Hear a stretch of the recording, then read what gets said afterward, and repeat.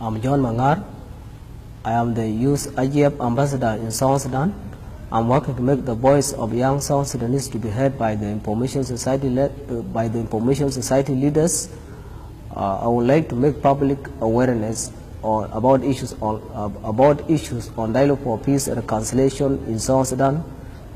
I would like to engage the youth in in IGF because most of South Sudanese, most of young South Sudanese are internet users because they usually post uh, issues, negative issues on on on the internet, issues of the hate speech, uh, issues of incitement uh, against other uh, against other tribes in South Sudan, issues of the uh, fake news, issues of fake news in, uh, on social media. The voice of of of, of young people to be brought to information society because most of South Sudanese are internet users.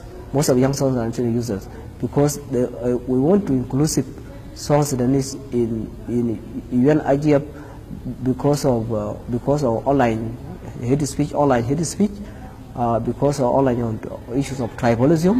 So I would like to care about issues to stop tribalism, online tribalism. Uh, I would like to care about uh, to, to make public awareness to promote peace and reconciliation on social media. Uh, I would like to care about to combat uh, uh, to, to, to, to stop hate speech on social media.